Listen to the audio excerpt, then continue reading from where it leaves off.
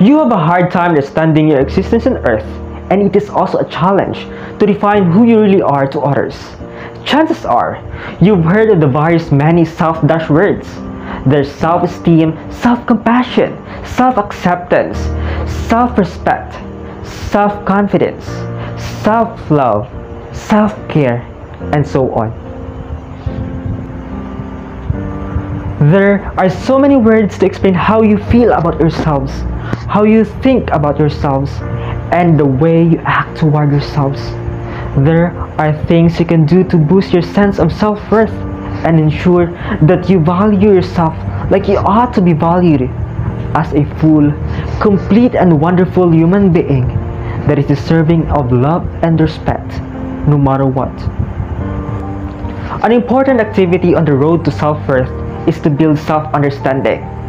First, you need to learn of who you are. Imagine that everything you have is suddenly taken away from you. What if everything you have was suddenly taken away from you?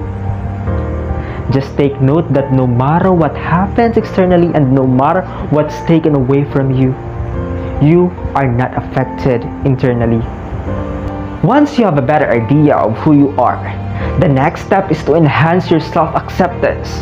Forgive yourself of the struggles, improvements, mistakes, and the bad habits you have, and accept yourself without any judgment or excuses. Think about what you've learned about yourself. You accept the good, the bad, and the ugly. You fully accept every piece of your flaws, fears, behaviors, and qualities you might not be too proud of. Since you accept yourself for who you are, you can begin to build love and care for yourself.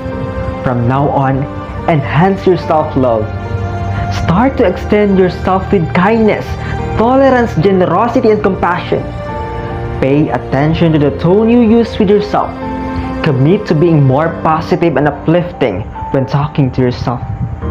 You are valued and special. You love yourself wholeheartedly. You are a worthy and capable person.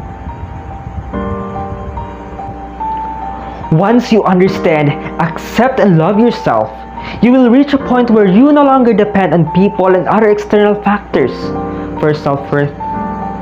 You and only you are responsible for your fate. Life is no fun if you spend it hating yourself. You take pride of who you are and what you have to offer when you have that love for yourself.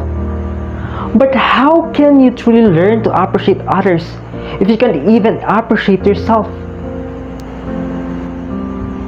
At this point, the best thing you can do is to recognize your worth and appreciate yourself for the work you've done to get here, as well as continuing to maintain your self-understanding, self-acceptance, self-love, and self-worth.